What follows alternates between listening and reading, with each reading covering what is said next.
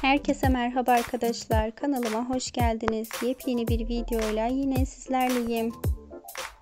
Bağırsaklarındaki rahatsızlık sebebiyle bir süredir ekranlardan uzak kalan Neslihan Atıgül İstanbul'u etkisi altına alan karın keyfini mini şortuyla doyasıya çıkardı. Soğuk havaya aldırış etmeyen güzel oyuncu dikkat çeken kombiniyle köpekleriyle eğlenceli anlar yaşadı. Kendisi gibi oyuncu olan eşi Kadir Doğulu ise dışarı çıkmayarak Atagül'ün karın keyfini çıkarttığı anları telefonuyla çekti. Atagül o keyifli anları sosyal medya hesabından paylaşmasıyla takipçilerinin ilgisini bir hale çekti. Şimdilik benden bu kadar. Emeğe saygı olarak videomu beğenmeyi ve kanalıma abone olmayı unutmayın. Hoşçakalın.